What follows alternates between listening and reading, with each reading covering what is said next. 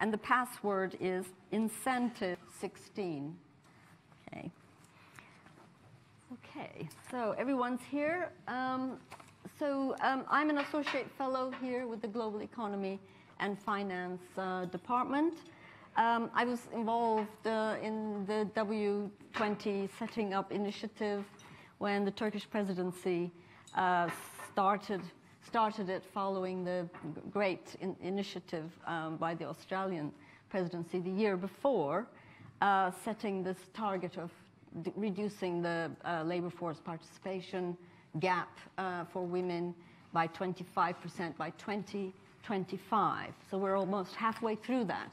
Um, and um, we have here a, a great uh, lineup of speakers to kick off, um, kick off reviewing how far we've got, to and starting with Yoriko Meguro, who's uh, co-chair of the W20 in Japan, who will summarize the progress this year.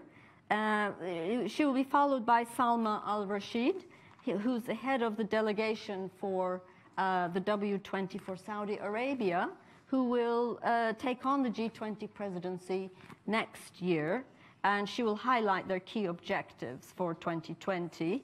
Um, then comes David Bell, who is the Director of Standards Policy at British Standards Institute, to tell us how uh, some, of, some of our uh, aims in the uh, W20 are becoming hardwired into practical implementation uh, matters on the ground. Um, and last but not least is Bernice Lee, who's uh, head of the global economy and finance team here at Chatham House, uh, who will provide a summary and overview of, of um, the, the, the, um, the, the goals of W20. So over to you. Thank you. Thank you very much. Uh, my name is Yoriko Meguro. Uh, I have been a uh, W20 uh, co-chair in the past um, eight months or so. Um, uh, and I really appreciate this opportunity to share our thoughts. Um, now, in terms of uh, progress made this year, it's very hard to identify, but I would like to uh, begin with the progress made or the impact to the Japanese people and Japan as a whole. Uh, what, this is about the positive impact that we have to think about. Uh, in terms of the advocacy, because W20 was not known, I can say whatsoever. And uh, of course, people knew about G20, but uh, we didn't know anything about the engagement, engagement groups. The existence of it was something very new. So the advocacy on the W20 was very important. So um, even the people who have been engaged with uh, development or foreign um, assistance didn't know about it. So that was the beginning. And particularly the media people did not know anything about engagement groups. And so that was a very hard start. Uh, now, uh, developing management skills and setting focused goals to achieve as the steering committee of the presidency was a major um, task for the uh, steering committee. We got together for the first time, for some of us, together to work on the same goal. And we had very different uh, frame of uh, thinking so it was a very uh, difficult thing, but important thing to achieve a goal within a limit time. Uh, also, learning communication methodology to understand uh, language of conceptual equivalence. Uh, this is uh, something very uh, difficult, but we just skip, skip it without trying to understand really um, mutually the conceptual. Uh, the thing is that we uh, are trying to discuss uh, really meaning uh, with the conceptual equivalence. So this was the, uh, the task for uh, between the, the the steering committee members, between engagement groups, between business sector and development sectors. So we all had to learn, and I hope that many people realize that we had to learn. Um, approaching the media was another uh, difficulty, but you can do it if you try and take time. And we learned that. So, um, uh, when I compare the eight months uh, before and now, I can see some progress uh, in our mentality. Um, very from beginning from very low to the improved level. Uh, there is certainly I can identify some progress made, but not well enough to have hope for the future. Um, Another thing is about the convergence of fact-based uh, knowledge between uh, domestic sectors and global sectors. The people who are just concerned about the domestic issues uh, had really no idea about uh, the need to converge with the people with the different thoughts. But this uh, is improving, I think. Um, so uh, as a result, um, people who have become aware of this and have enough knowledge, uh, then uh, they can compare the re reality in Japan with the reality in other parts of the world, not limited to the, uh, G20. Um, now, um, there is still a need, a very strong, strong need um, to continue uh, the penetration of in information um, and knowledge, but we have to change the uh, mentality in the sense that we still need to uh, uh, appreciate the, that we are being actors to move from words and knowledge to action. Uh, the lastly, uh, acute awareness is still needed for digital learning from the fear of being left. This is true for all generations. Now, you have a few minutes more? I think, but I think that's it. Yes. Oh, okay. I think I, I, think that's super. Um, you, we've got to move from knowledge to action. I think is a good way of moving on. Salma, would you like to yes. pick up on that. Uh, th uh, thank you, uh, uh, Mina, and thank you, Yuriko. Uh, I would like to pick up where Yuriko ended. I think it's uh, um, it's really interesting to see how the Japanese experience as being head of delegation for Saudi Arabia in 2018 in Argentina, and then 2019 in Japan, and hopefully leading in 2020.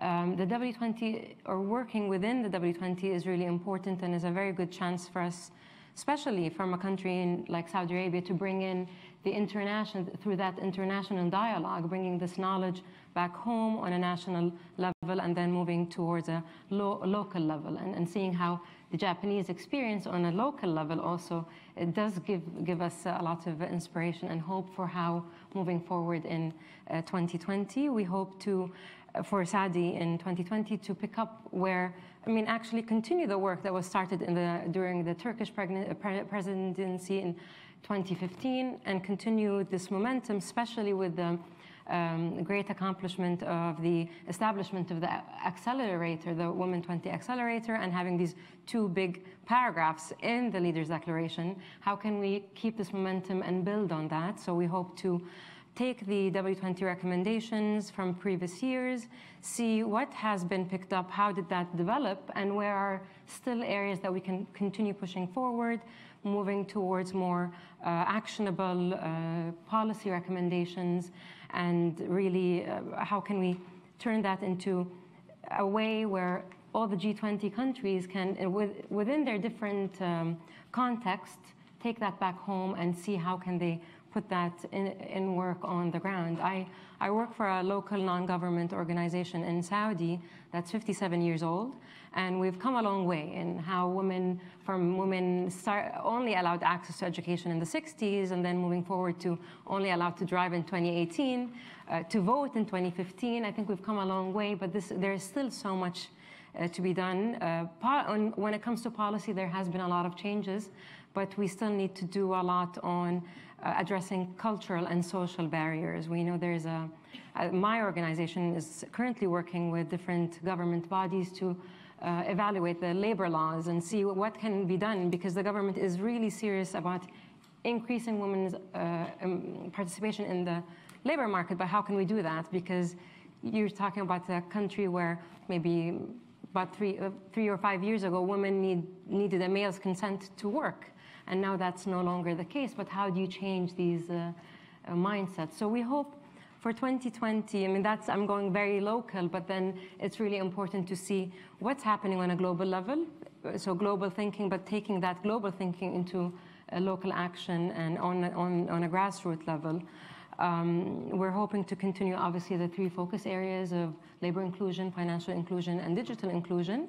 We're in the final uh, process of selecting our fourth pillar, hopefully, and we'll be announcing it once we take the handover from our Japanese uh, colleagues. Thank you very much. That's excellent. David. Thank you, Mina.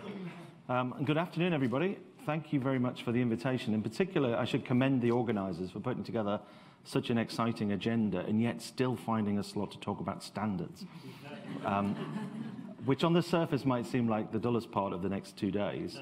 Um, for many of us, standards reflect, refer to the fact that the plug fits into the socket or the plumbing underneath our house works because the connectors are all the same size. Very important, but terribly dull. And I hope that in the next uh, two and a half minutes at least, um, I can talk a little bit about how we're trying to, in uh, Yuriko's words, to take, go from knowledge to action and really progressing the agenda that we're talking about over the next two days. Let's first of all just consider what a standard is. So these are voluntary tools. They are the definition of best practice. They define and codify what good looks like. And they don't just cover the wiring and the plumbing of your house.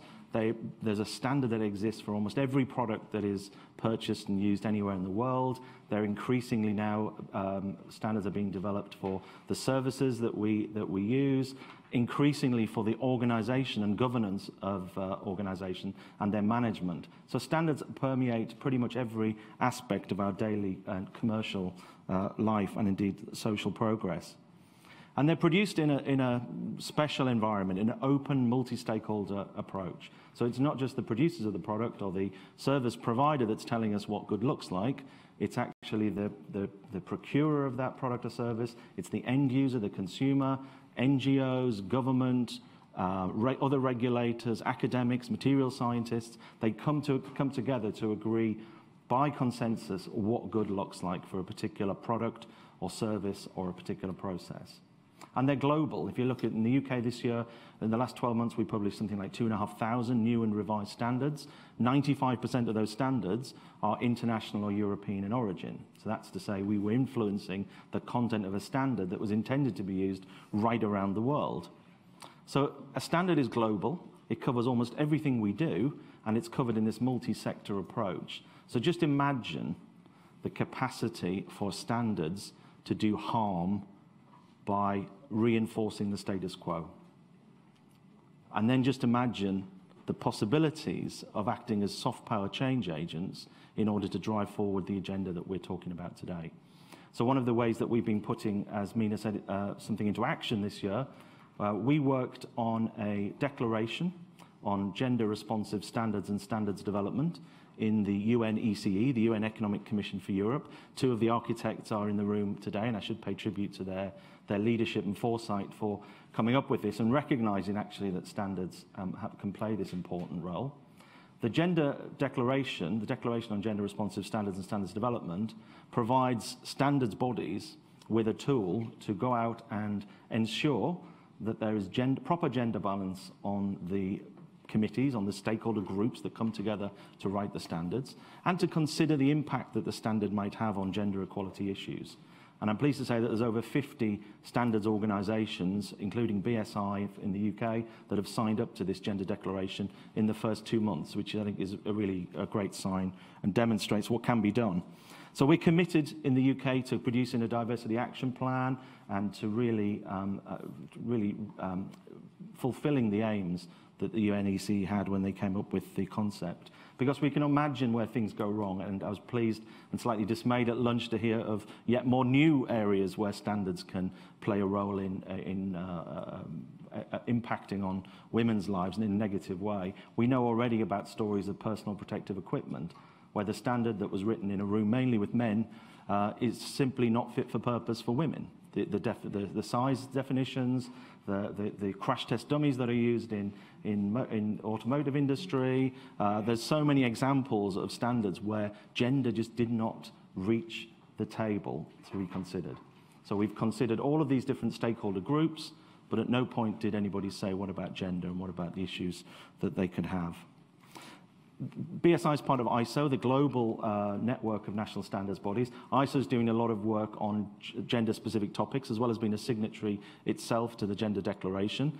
Topics which um, um, uh, are probably not appropriate to necessarily to be addressed in forums like this, but issues around um, clean cook stoves. There's a UN initiative there. Four million people a year, mainly women and girls, die through uh, poor um, uh, use of cook stoves in the home. Uh, there's a, the global trans, uh, task force that the UN has set up. ISO's part of that, looking at the way standards can help to drive cleaner cook stoves and actually help to solve an issue that is by far impacting more women than, than, than men.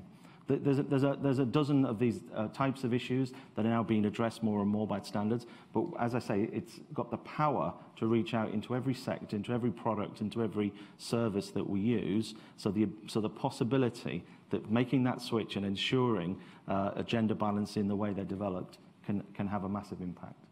Thank you, that's super. Okay, Bernice, please. Well, thank you. Uh, as I was thinking about what to say today, I thought to myself, you know, the, the really tragic thing is that I kind of know what the conclusion would be that we have made a lot of progress, but it's not enough, that we have lots of knowledge, but it's not really actioned enough, that really, for all the work that we're trying to do, there is still a missing middle. We perhaps focus sometimes too much on the top, women on board, sometimes too much on the bottom, bottom billion, and often forgetting the middle part. So I was thinking to myself, well, if that's the case, then what shall we do? And Yuriko and others also mentioned in Salma to the social cultural barriers. So I thought my first conclusion, therefore, for this panel for me is, well, let's measure what we can, and let's be as transparent as possible, and that has to be an important starting point. But that also means that for my second point, I want to build on what David just said, it is ever more important that we develop all these different mechanisms around soft governance. They may seem soft for now, but soft governance are building blocks for harder governance down the line. You gave us some excellent examples, and I was thinking about how we will have two days of discussion on the future of work, on digitalization, and we do a lot of work in Asia, and certainly in the case of Asia, because of the trade war and the deglobalization fear, more and more companies are rethinking what their supply chains should look like. So this idea that you could find jobs for low-income uh, women in light manufacturing perhaps is no longer going to be a possibility for the future if more jobs are going to be outsourced to machines or onshored back at home, or for the matter, uh, thinking through the implications actually not even in a developing country at all down the line, and in this particular case, it cannot be more important that we think through all the different governance challenges that was outlined earlier, but also the standards around which we design machines, the machine learning algorithm, how we decode the machines, etc. And there are many experts in the room, and I think that it is extremely important that we look at the future of work with that lens, but not just that lens. We have to look at the future of work with the lens that perhaps there may not be future of work in areas. And one of my favorite depressing statistics is the fact that one, one out of five people by 2040 could be living in slums, particularly those emerging economies in Africa and Southeast Asia. And by 2050, we could be talking about one in four. So we're talking about many different rapidly converging trends around deglobalization, around machines and robotics and new manufacturing, and also around rapid urbanization at a time when we're not investing enough in obviously either rural economy or urban population. Which brings me to my third point. I mean, I, my day job actually is mainly on environment and climate change. And you must have heard of recently the whole kind of what I call the plastic madness, which is incredible. So, you know, a couple of documentaries, uh, many different actions have now created a lot of, a lot of excitement around plastics and, and things what, that we can do. And I was thinking recently that we could be very, very focused in what we do. you know, I work on gender, that's what I do. I work on climate, that's what I do. But what we learned from the plastics example is that young people getting more interested in plastics is a gateway to understanding, for example, emissions from plastic. It is a gateway to understanding the structure around waste management. It is a gateway to understanding how trade really works, that you don't just ship waste somewhere else and let that be taken care of. It is also a way to question structures of decision making as to who makes these decisions around waste management, around production of plastics, use of materials, and whether or not we can create new business models. So, my last thing, if I may, in my four minutes, I feel that the learning from the plastics example, and to some extent what's happening now around mobilization and climate change, is that we have to be supportive of all progressive agendas because they do connect to each other and all of them lead us to question and find answers to better, more sustainable, more inclusive, more gender balanced, etc., etc., production and consumption models. So with that, I would like us to move also more into the gender plus, not just gender itself as, as an agenda item, which I'm sure everyone is already doing, but more consciously connecting the agenda in such a way that really make us the bigger than the sum of our parts. That's super. Thank you very much. I think we've, we've had some really great introductions, and we have 15 minutes for questions.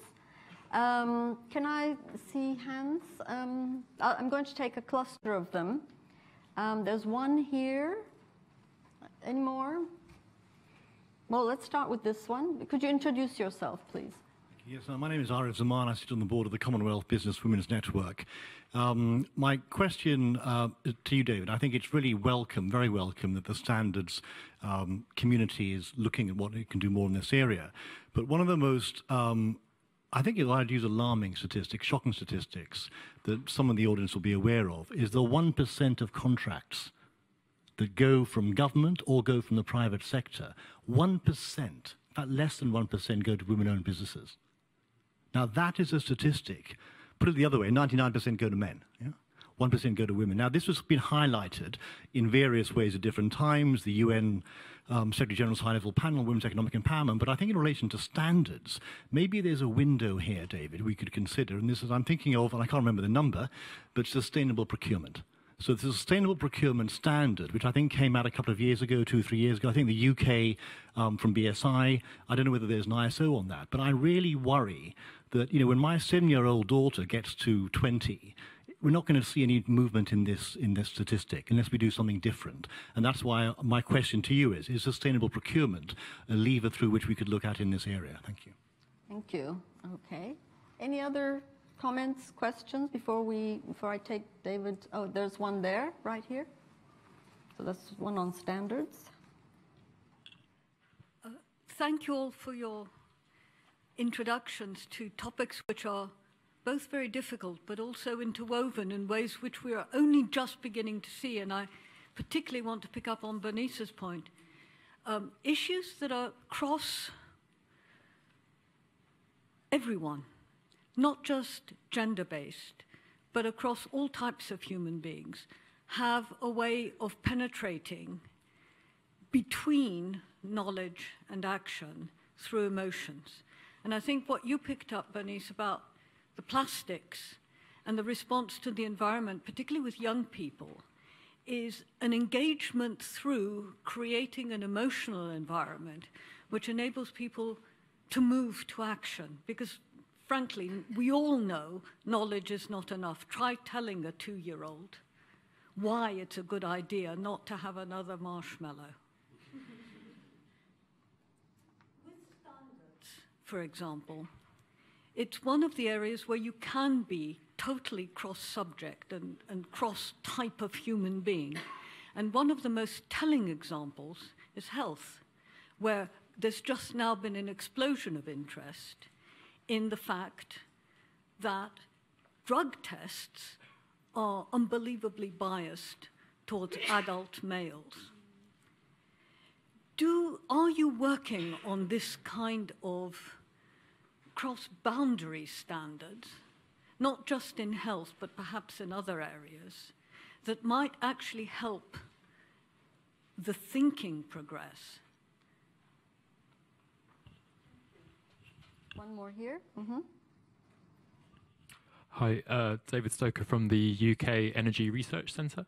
Uh, we recently published a report about uh, gender equality in academia, and we found um, our researchers found cultural issues there with uh, a culture of working very long hours and a volume-based publication uh, quantity model of success, and that really blocks a lot of, in terms of knowledge production, uh, for the innovation we need. Uh, blocks a lot of women from progressing in their careers because part-time is difficult and so on.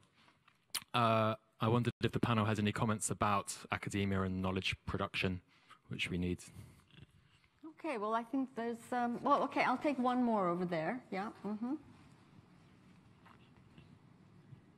Thank you. Um, I'm Ros Ebden from Plan International.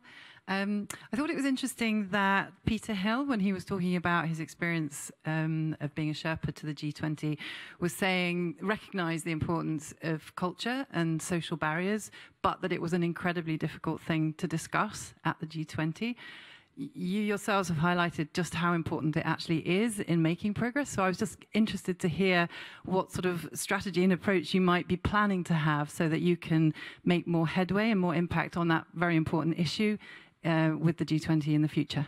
Thanks.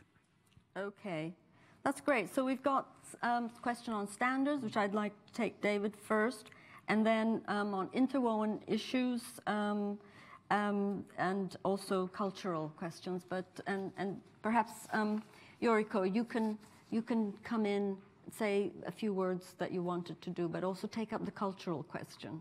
Um, Salma, would you like to? Yes, right. Yeah. Yes. Okay. So first, David, because there were quite a lot of things on standards. Okay. Well, thank you, Aaron, for the question. And um, just to commend the work that you're doing on the Commonwealth Women Business, uh, we're connecting that up with the Commonwealth Standards Network, which is a new organisation which is trying to bring together Commonwealth countries to discuss standards and to do uh, technical assistance work specifically aimed at Commonwealth countries. Um, your question about the sustainable procurement standard, absolutely, that's the, exactly the kind of thing that a standard can address. It can talk, not, I, I was really uh, struck by what you said, Bernice, about the fact that we need to combine the progressive agendas. And so sustainable procurement should not just be around climate change. It should not just be around, um, it, it should be much broader than that, and it should include issues around gender. Whether it does or not, I don't know. I haven't, I haven't, I'm not familiar with all of our 37,000 standards. But if it's not, that's precisely because of the issues we just spoke about, the fact that, that we, we need to get a broader based, um, uh, particularly on gender, a broader based group in the room in order to make sure those issues are not forgotten. And to get experts, you, um, women on our committees, of whom we have a couple of thousand, tell us in many cases they're not there to be gender, they're not gender experts. They're there because they're experts in, uh, in steel, in metal, they're metallurgists or they are environmental scientists. So, so you need specific skills and we recognize that and that's something that has to be done, I think, as part of the training. On the question around data bias, I think we, we're all familiar with algorithms that are completely biased and um, coding that's completely that, that is biased, um, blind uh, bias in coding. That's something that I think, um, I don't know if there's any particular work on it at the moment, but we're certainly looking at ways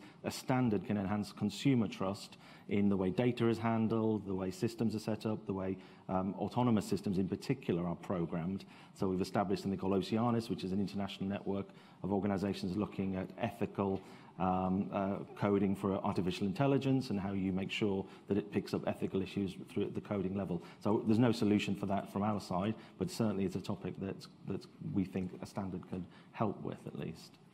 Okay, Bernice, you want to just come in on that? Yeah, I kind of want to pick up on the is it emotion? I mean, it is partly emotion point. Um, I, I, I was reflecting after what you said that is it emotional or is it because they're less encumbered by what we're encumbered by? So in, we, in the way we do our job, we have deadlines, the communique had to be finished, we have demands from government. I guess younger people hopefully had less constraints and therefore can afford to think longer term sometimes than us. And I was reflecting on what people said when they're 20 and what they do afterwards, and there's always a discrepancy. And perhaps one of, one of the education goal is indeed to keep that in mind, notwithstanding the need for specialization, notwithstanding for the need to base, you know, to get earn our living from our competitive advantage. But in terms of the cultural barrier, the reason why I think that it is important, extremely important, to start with measuring and transparency, is because those cultural and political barriers, which you're going to talk a lot more about, are very difficult to handle. So recent um, in, in one of my jobs the last couple of, you know, last couple of years, um, I found out that a bunch of young women in an organization were taught all the negative stuff. What I mean by that is they were taught that they have a narrower likability spectrum, um, that they need to not wear shiny things on their ears because otherwise men can't focus, you know, wear proper clothes so that no one is being distracted. And I thought to myself, why are we teaching young women that? Why are we not teaching men that lesson? So I think there are quite a lot of things that we do that we perhaps don't think enough through the, the, the implication. And these are the kind of cultural barriers that I think is much more day to day that we learn from the building blocks and become hopefully more institutionalized.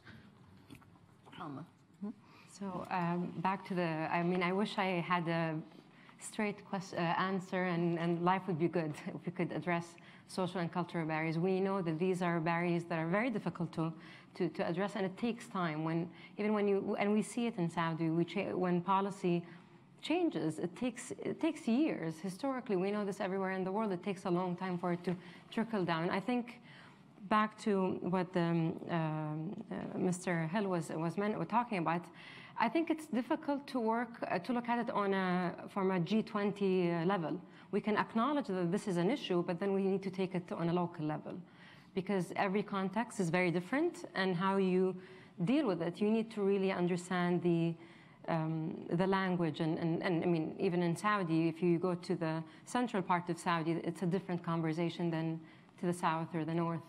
So I think you really need to understand the context and start in edu early education. Start with the, the boys and the men. And so you need to start early and through education, but it's not, there is no straight uh, answer. Okay. Would you like to come in? Um, just to add, um, I, I, don't think I can leave here without uh, uh, saying this. Uh, um, it's, it's uh, related to what uh, uh, Mr. Hill talked about. It was rather difficult toward the end in uh, agreeing on the declaration. And there are certain issues um, uh, that there are always uh, countries which uh, are against uh, agreeing on. And uh, so I'm going to talk about it.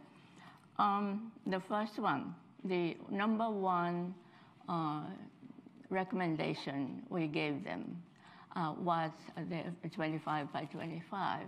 And we insisted, we requested uh, for the uh, ministers to uh, report to uh, openly um, next year. Uh, but the declaration is much stronger than what we requested. The leaders made it clear that, they would make the progress report every year and uh, with the, the, use of the statistical uh, reports done by ILO and OECD. And so they would uh, re make reports on facts-based, uh, um, uh, facts-based. And so this was a very, very um, good and satisfying outcome. And also, uh, Mr. Hill, as, as, Mr. Hill said, some countries do not want to use the word gender. And also, some people, uh, some uh, countries do not want to be monitored and evaluated. And we put them both consistent, consistently. And uh, so it was really a great success that we had that uh, um, paragraph. I also personally uh, was very happy but surprised to, to women's participation in the labor market in an ind independent one full sentence, not as a part of the gender issue listing. And this was really worth being surprised. But there is much hope. Uh, because if, we'll, if once we agree on this, then we can keep making this a fact And so I think we can have a hope. I hope I'm, I'm not too uh, pessimistic. And so the following line also contain our kind of language, um, such as gender pay gaps and all forms of discrimination against women and combat stereotypes. In that rate. Thank you. Thank you. Well, I, I will have time for a few more. Yes, one here. Two, three. Mm-hmm. Thank you. I'm Ken Bluestone. I work with Age International. I just wanted to reflect on a particular bias that obscures the contributions and roles that older women um, make to society. And Japan has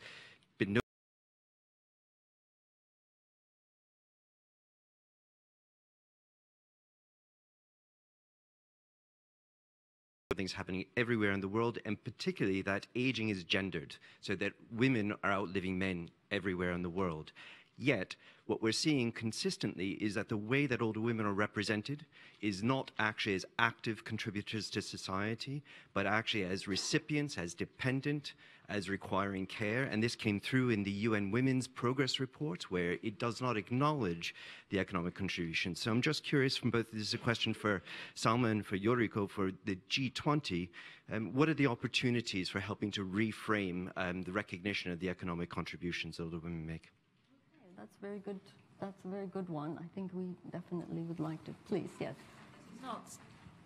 Can you, is it here? Uh, this is not so much a question, but Can a little. Identify yourself. Right. I'm uh, Ser-Huang Poon uh, from Manchester University. I'm a professor, and um, I, this, as I say, is not a question, but to share some research finding. Uh, very much uh, coincide with your observations about cross issues. So we have preliminary research uh, about genders and also a lot of uh, ESG, CSR aspects using database such as MSCI, KLD, and also using RepRisk. Race also have a lot of uh, news count on all the different uh, aspects. So it's very interesting that uh, we have a lot of women um, she, you know, like uh, directors, also top senior management percentage. So it's uh, very consistently, of course, um, I want to declare that we still need to do a lot of causality test. But women, uh, in general, statistically, we can show, uh, of course, no causality proven yet, that uh, they are very uh, highly related to less ill finding. So if there's a lot of weakness and negative score, uh, very, very consistently when you have high percentage of women management, women CEO, the very bad significant score uh, drastically reduced. So that is one way. The strength section, uh, difficult to find. So in terms of news count all over the world, and then the news count in like bribery, child labor, uh, controversial business practice. So we have a women CEO and also male CEO. Again, um, I'm not trying to fudge a statistic to find a score, but it was kind of uh, common sense and yet striking. Uh, so we have a group of women CEO and a group of uh, men CEO. So we look for the worst count. The worst count among the men CEO is about 20 to 30 times the score on the left-hand side. This is just a research finding. So this is very much coincide to what you were saying about cross-sectional issue. So somehow, uh, I have other colleagues talking about other diversities, you know, like uh, disability, uh, cross culture. I think the point is that diversity, you bring in some new thought, a different thought, a little bit of balanced thought about other things. And perhaps this is uh, how, uh, in my works, uh, echo what you just said about looking at all the issues together and how gender can make an impact. Thank you. Thank you. Thank you for sharing that. Yes, there's one there. A very quick question. My name is Helen Walby. I'm from the Alliance for Financial Inclusion based in Kuala Lumpur. Uh, this is a question for David. Uh, with the work that Basel are doing, do you think it's now about time that there was a global standard for financial inclusion? Standard for financial inclusion. Okay, that's a quite tough one. There's one here. My name is um, Stephanie, and I work in diversity and inclusion. My question is for Bernice Lee. So, you mentioned about you know breaking silos and seeing the progressive agendas all together.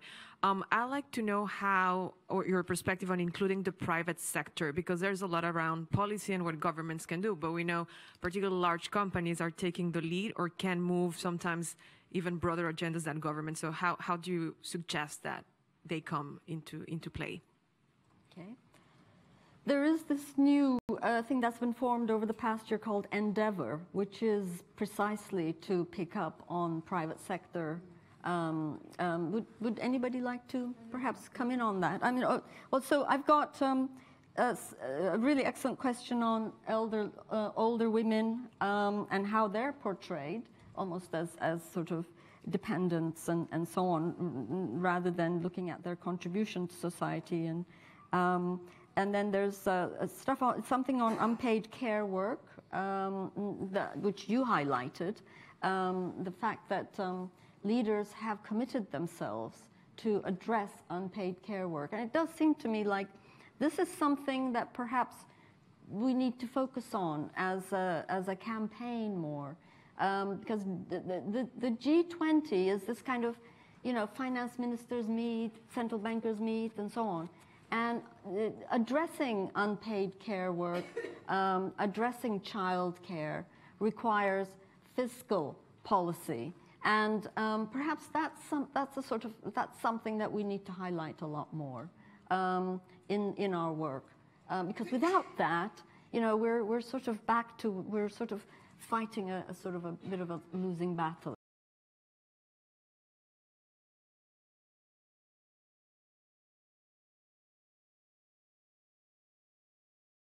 What a fantastic study that is. And it also, uh, it also chimes with the work that we've been doing around more diverse groups writing standards.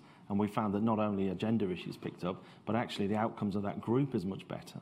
It's a much richer debate, and you get a much richer set of outcomes. So I think that's just, uh, you, you, I think you're, you're pushing at that one as well. On the issue of financial inclusion, we'd be really interested in looking to see if that's possible. Um, all of the standards that we talk about, we, we've got lots in the financial sector from simple financial products to help people who are trying to get the work their way through the myriad of different financial products to sustainable finance are all driven by stakeholders. So if there's a stakeholder group that is interested in financial inclusion as a topic, we'd be in interested in looking at it um, to see if we could get enough people interested to write a standard. And as many of the standards that we've spoken about today, lots of them do start in the UK and then become global. So an issue like financial inclusion is clearly not a UK only issue. So we would love to be a champion of that internationally as well. But uh, happy to talk to you about it separately, but I think we, we need a stakeholder to, to drive it forward. We're happy to consider it though.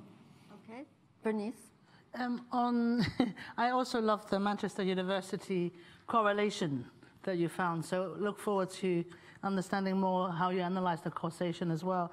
But also perhaps this is a time to bring back intuition into our rational thinking. Um, on the question of unpaid care work, but also the silver economy, especially that relates to women. I mean, I hope very much that next year Salma and others, and, and Yoriko continuing, to be able to factor that in as obviously underutilized economic contribution. So that would be a very obvious way to talk about how we can, perhaps especially in rural areas and many parts of the world, that could be a major factor.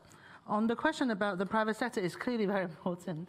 Obviously, private sector is a part of society and therefore what they do really matters. But on very, very senior level, I've kind of noted that the number of CEO females, CEO, female CEOs at the Fortune 500 level has actually gone down in the last couple of years. And I don't know whether they came back up. I didn't check this morning. So I think that there is definitely a case to be made for more, more, more visibility of those that are still around. But on all, I mean, you know, this is his job, really. You guys can certify a company whether or not they are doing, you know, or you, you can work with others who certify those, whether they've achieved different types of gender equality at all different levels, pay equality, etc., etc. So I think that there's a lot that could be done on the standards level that actually really can bring this to light in a much quicker way. And the question would be whether or not you apply different standards to SMEs and others that some have asked for in the past. Mm-hmm. And that would be a tough one to figure out. How do you progress it, graduate it, and actually end up having a system that is simple for us, but nonetheless every single company know what they need to do. Thank you very much. Salma, I, I see you're scribbling. Would you, would you like to have the last word? Yeah, thank you. thank you, Mina. I actually, it's, it's really um, interesting to hear all these questions and res- uh, responses. And as you mentioned, uh, Bernice, we, we do, I, I personally do look forward to attending the, the other panels today and tomorrow to really take all this uh, um, output and um, use it as a, as a kind of uh, to feed into what we look for to um, uh, kind of um, frame what we will focus on for next year. Uh, we do recognize that this, uh, as you mentioned, the, this aging issue is not only in Japan, but it, it is people are living longer and mostly women. Uh, but also for a country like Saudi or maybe the Middle East in general, we have a surge of youth unemployed, but then you have uh, older people who are being pushed into earlier retirement, but at the same time have a wealth of knowledge. So how can we kind of work around that? So I'll be uh, happy to continue this discussion further. Thank you. Well, I think we should give our panelists a hand, and we've got our next speaker ready.